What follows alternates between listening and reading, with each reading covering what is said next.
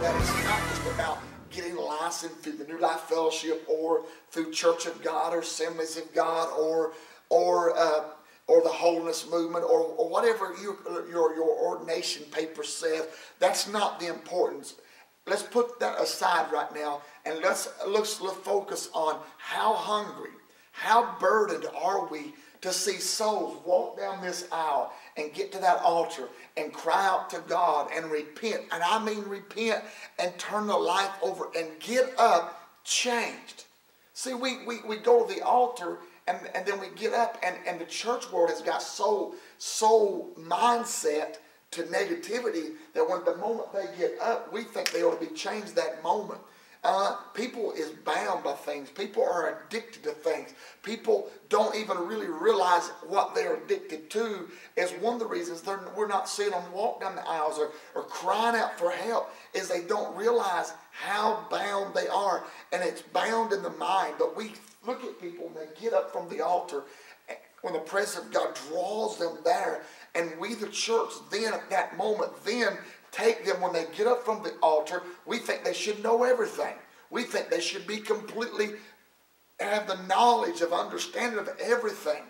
But the thing is, it's our requirement, and we have allowed generations to go and slip through our hands as preachers and pastors and ministries and not being properly connected and properly trained up and taught the Word of God. Why do we believe what we believe?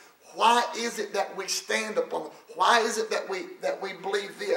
Pastor, preacher, ministries, why is it that you believe? Why do you do what you do? And we ought to be able to take them and train them in the Word of God. Because how can we make disciples if we never train them and teach them?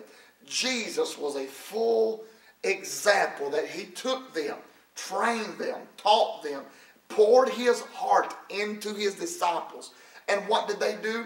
When he went back to heaven, what did they do?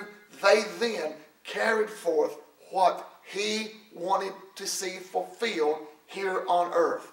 You and I now are that people that he is wanting us to capture his heart, to capture his purpose, his destiny that he's wanting to do on earth. And if we don't get grounded and get a foundation in the Word of God, every wind that comes by, every wave is going to toss us to and fro, we're not going to be able to stand. We're going to be here and gone, there, gone. And we're just going to be, in other words, as I've been saying here recently, hip hopping everywhere and never get grounded, never stand up, and never get built up as a strong spiritual house. You don't have all the time you think you need. God's calling you right now, sir, ma'am, boy, and girl. God's calling you to rise up and be all you can